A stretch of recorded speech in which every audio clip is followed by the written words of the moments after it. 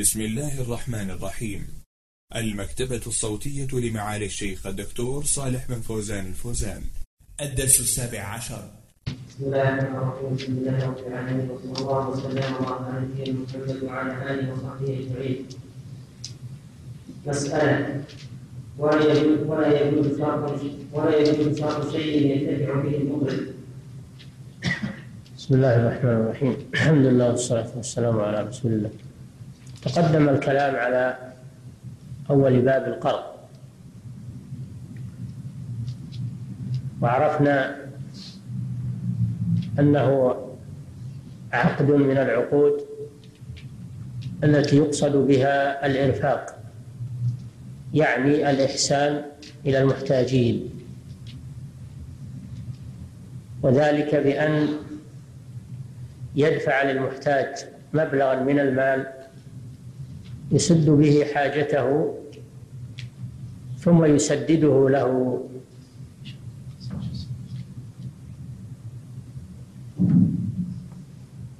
والقصد منه ليس الاستثمار أو الفائدة الدنيوية وإنما المقصود منه ثواب ثواب الله سبحانه وتعالى وهو من التيسير على المعسرين. والتعاون بين المسلمين.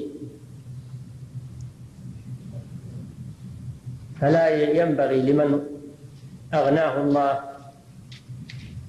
لا ينبغي له أن يمتنع عن إقراض المحتاجين ولا يجوز للمحتاجين المقترضين إذا اقترضوا مبلغا من المال أن يتساهلوا في تسديده ورده إلى صاحبه في أسرع وقت ممكن من غير مماطلة ومن غير تأخير. قال الله تعالى هل جزاء الإحسان إلا الإحسان؟ فلو أن الناس تعاملوا على هذا الأساس لتوفرت القروض التي هذا وصفها. وحصل الخير لأصحاب الأموال بالأجور والثواب وحصل الخير للمعسرين بتسديد حاجاتهم.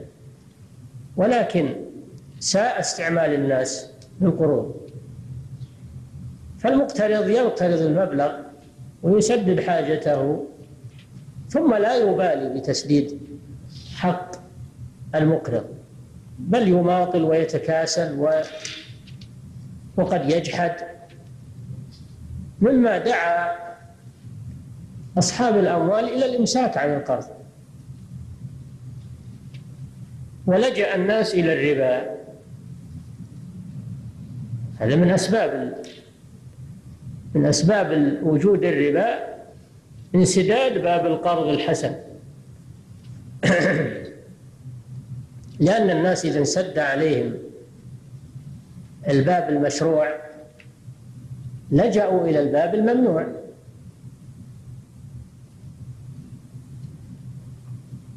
هذا هو القرض وهذا هو المقصود منه. فعلى هذا الأساس إذا شرط المقرض إذا شرط المقرض على المقترض فائدة كأن قال أقرضك مئة ريال على أن ترد علي مئة وعشرة ريال فهذا ربا. ربا صريح. كما تفعله البنوك والمؤسسات الربوية من القروض بالفوائد سواء كانت هذه القروض فردية أو دولية أو كانت بين مؤسسات أو بين أفراد. إذا شرط فيها فائدة وزيادة فإن هذا هو الربا الصريح بإجماع المسلمين.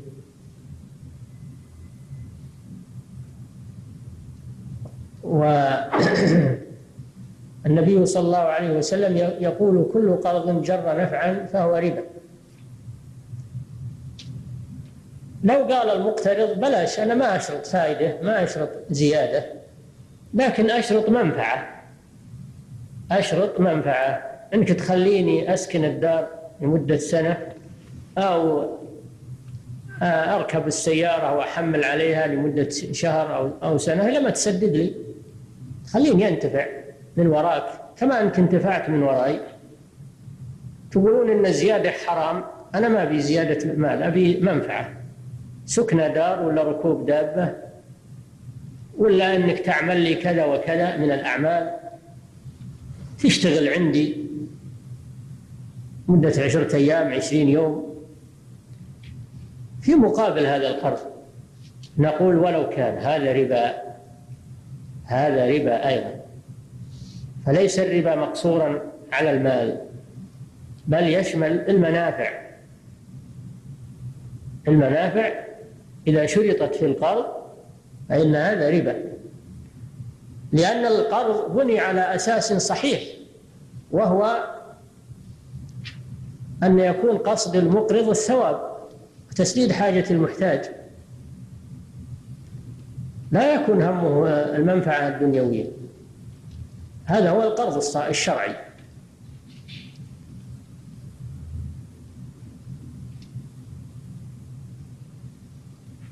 وهنا مسألة وهو أن بعض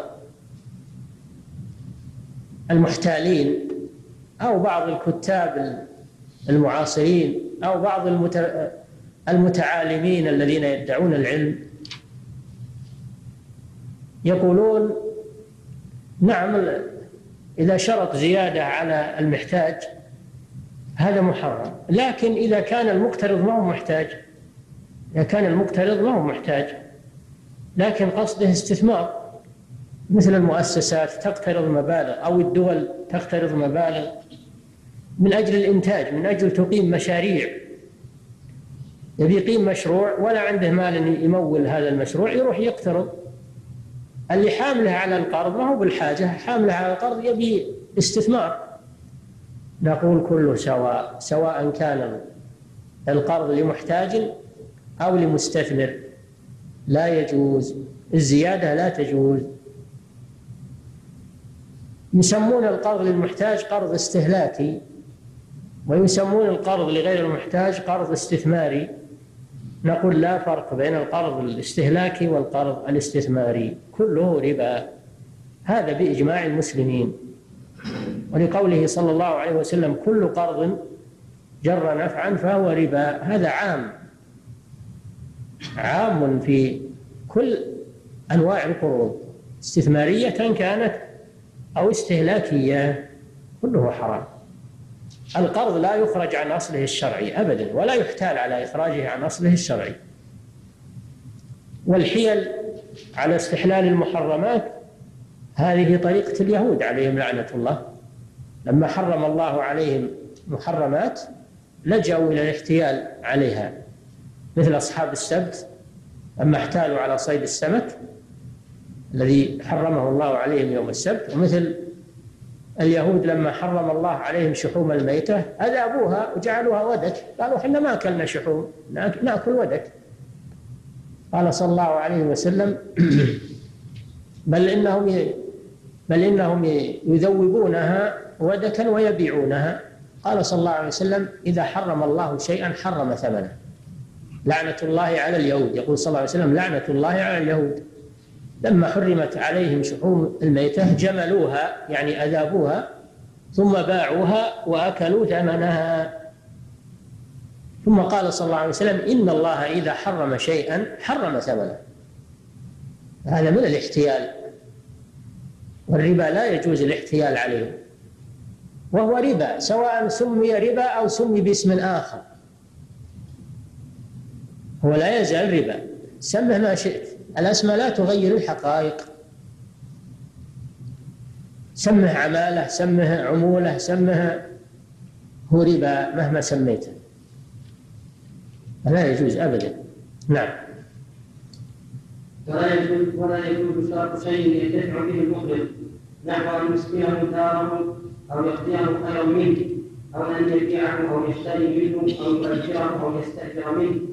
مثلا قال مثلا أو يعطيه خيرا منه. قال مثلا أنا أقرضك هذا البعير على أنك ترد علي بعير أحسن منه أسمن منه أو أكبر منه أحسن منه سن. أو أعطيك نقود على أنك ترد علي نقود أحسن منها وأغلى منها ثمنا. فهذا ربا. إذا شرط عليه فهو ربا. أما إذا سدده بزيادة من غير شرط عليه ولكن تبرع من المقترض فهذا لا بأس. قال صلى الله عليه وسلم خيركم أحسنكم قضاء. والنبي صلى الله عليه وسلم استسلف بكرا من الإبل ورد مكانه خيارا رباعيا. قال خيركم أحسنكم قضاء. هذا غير مشروط. وإنما هو تبرع من المقترض. عند الوفاء. إذا جاءت الزيادة من المقترض من غير شرط ومن غير إلزام فلا بأس بذلك. يعني هذا من حسن القضاء. نعم. نحو أن يسكنه داره أو يشتريه خيرا منه أو أن يبيعه أو يشتري منه أو يؤجره أو يستأجر منه. أو يهدي أو يهدي إليه أو يعمل له عملا ونحوه بأن النبي صلى الله عليه وسلم نهى عن بيع وسند. رواه الترمذي وقال حديث صحيح. وعن ابي بن كعب بن مسعود بن عباس انهم نهوا عن قرض جر منفعه ولأنه عقد ارفاق وشرط ذلك فيه يخرجه عن موضوعه. شرط الفائدة فيه تخرجه عن الإرفاق فتجعله استثمار نعم فيكون حراما. نعم. مسألة إلا أن يشترط أخذا أو كثيرا لأن النبي صلى الله عليه وسلم رهن درعه على شعير أخذه لأهله متفق عليه هذه مسألة إذا شرط المقرض على المقترض إنه يقدم له كفيل، قال ما يخالف أنا اقرضك لكن تجيب لي كفيل يكفل عليك. يقول هذا لا بأس، هذا توثيق. هذا توثيق للدين لئلا يضيع. إذا ما سدد المقترض يسدد الكفيل. هذا فيه توثيق للحق وليس زيادة ليس فيه زيادة وكذلك لو شرط عليه رهن.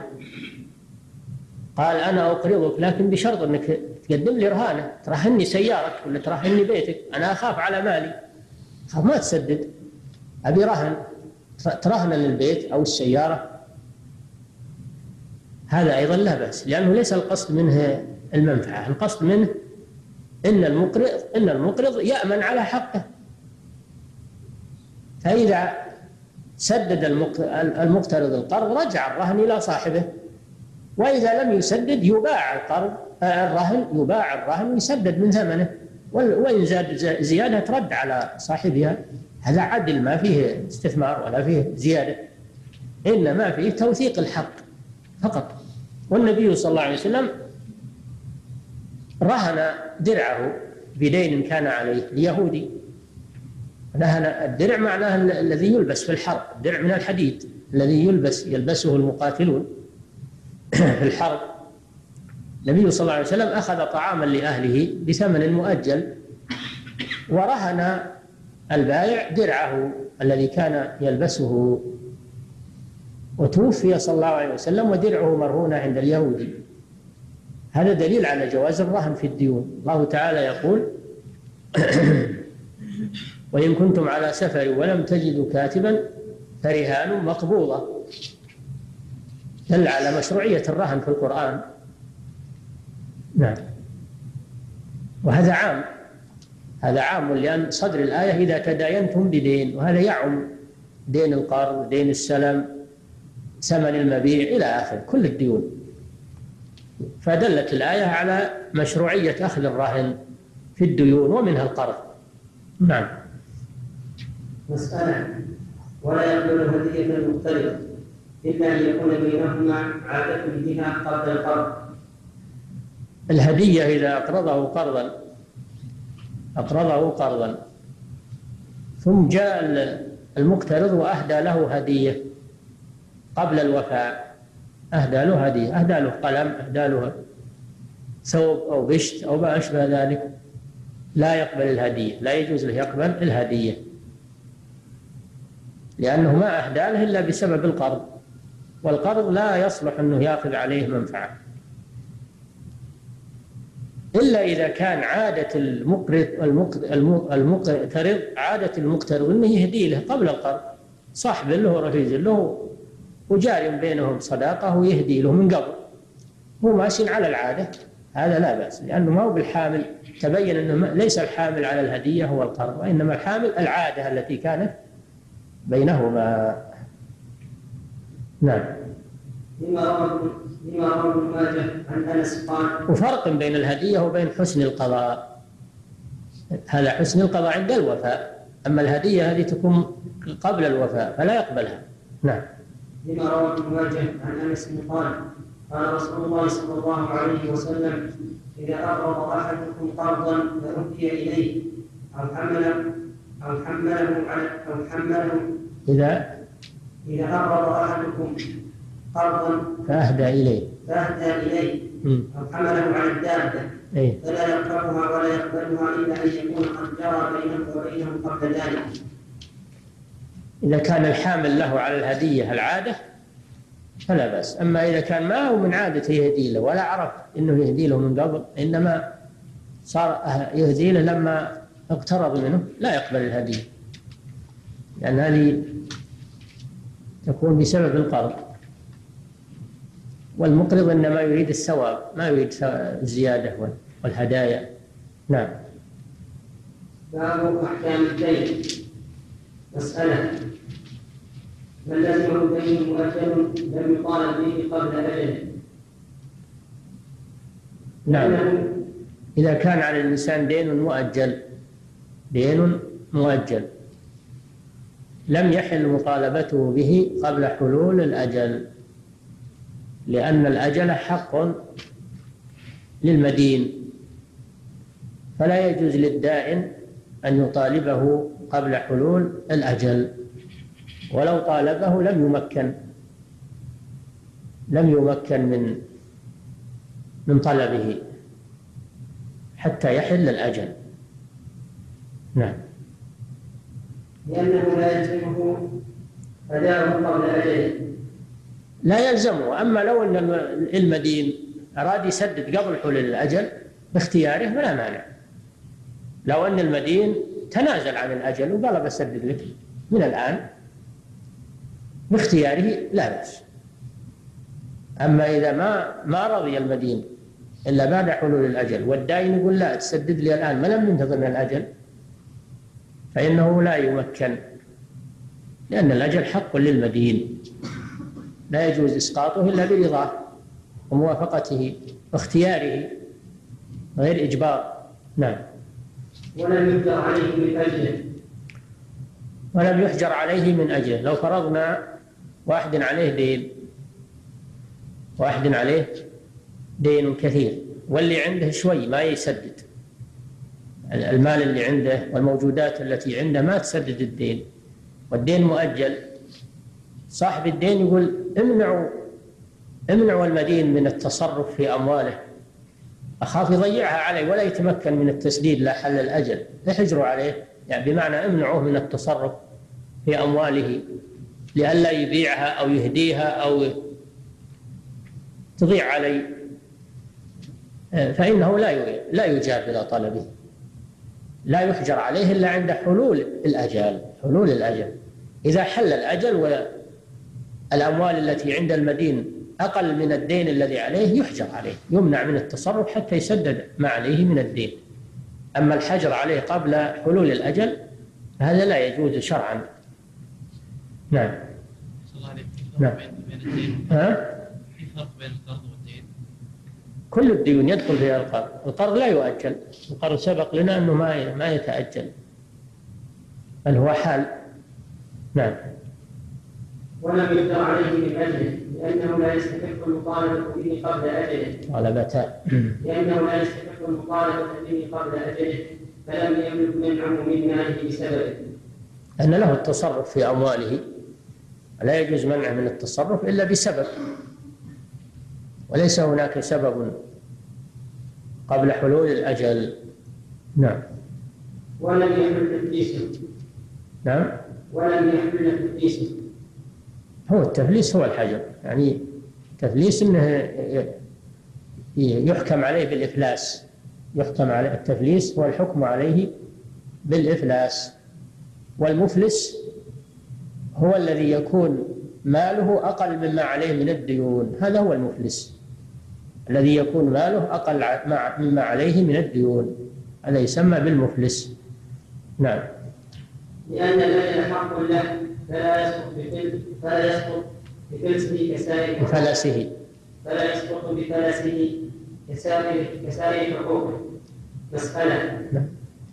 ولا يحل بموته إذا وثقه الورثة أما إذا كان عليه دين مؤجل كان عليه دين مؤجل لكنه مات. المدين مات والأجل لم يحل. فهنا فيه تفصيل. إن كان الورثة وثقوا بكفيل أو برهن فإنه لا يحل المؤجل بل يبقى على أجله. وإن لم يوثقوا للدائن فإنه يحل بالموت لأنه لو لو ترك ضاع حقه توزع الورثة التركة فإذا مات المدين عليه دين مؤجل فإنه يحل بالموت إلا إذا وثق الورثة بكفيل ملي أو برهن. لأن ذمة الميت انتهت خربت. يضيع مال الداين فيحتاج إلى إلى كفيل أو إلى رهن. وإلا نسدد له من الآن لو ما حل الأجل. قوله صلى الله عليه وسلم لا ضرر ولا ضرار. نعم.